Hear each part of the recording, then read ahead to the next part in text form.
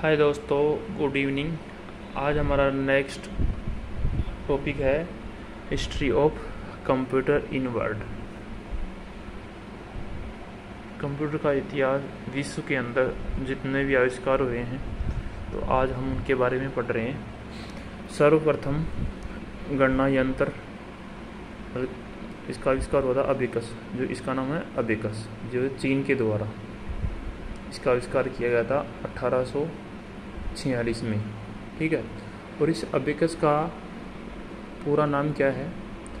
Abundant beads addition calculation utility system ठीक है? और ये किसके द्वारा जो आविष्कार किया था, उसका नाम क्या है? ली काई चैन द्वारा इसका आविष्कार किया गया था। किसका? अबिकस का, जो सर्वप्रथम गणना यंत्र है। ठीक है? और जो अबिकस है, उसको जापान में सारोबान के नाम से जाना जाता है। इस नाम से? सारोबान के नाम से। नेपियर बोन्स का आविष्कार किसने किया था? जॉन नेपियर बोन्स ने 1617 में, ठीक है? और ये कहाँ से थे? स्कॉटलैंड देश है ना वहाँ से। जो एक गणितज्ञ थे ये, जो इसका आविष्कार किया था। ठीक है, और स्लाइड रूल्स इसका आविष्कार विलियम ओटर्ड ने किया था।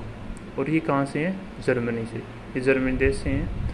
और 1620 में इसका आविष्कार किया था। किसका? स्लाइड रूल्स का। नेक्स्ट है पास्कलिन इसका आविष्कार किसने किया था? ब्लेज पास्कल ने। और कब किया था?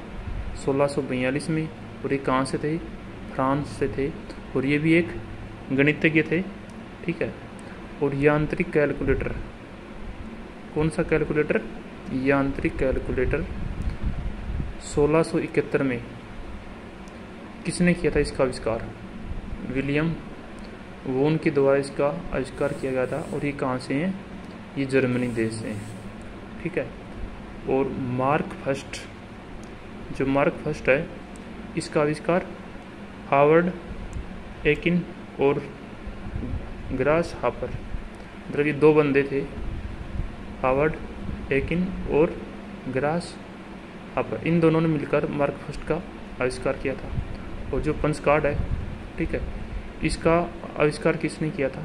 पंच कार्ड का आविष्कार किया था जो यूएसए, अमेरिका के हरमन होलरिथ है ना, उन्होंने इसका आविष्कार किया था। और पंच कार्ड से जो डेटा पढ़ने का विचार सर्वप्रथम किसने दिया था? ये दिया था चार्ल्स बेवेज ने। किसने दिया था? चार्ल्स बेवेज ने।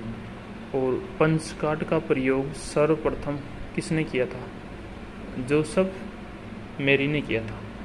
जो जोसफ मेरी है ना, उसने किया था। किसका? पंच कार्ड का। और जो ये मतलब पंच कार्ड क्या है? ये मानक पंच कार्ड है ना? मानक पंच कार्ड है। मानक पंच कार्ड है। ये लगभग सात पॉइंट थ्री सेवन चौड़ा है। सात पॉइंट थ्री सेवन, ठीक है? और थ्री पॉइंट पच्चीस इंच ये क्या है? लंबा है। पंच कार्ड थ्री पॉइंट पच्चीस इंच ये लंबा है, ठीक है?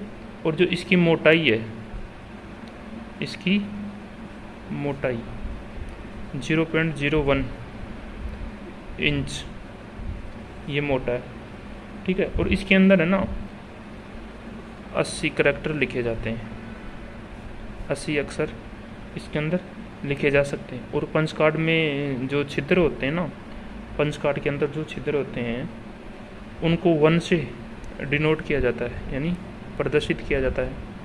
ठीक है?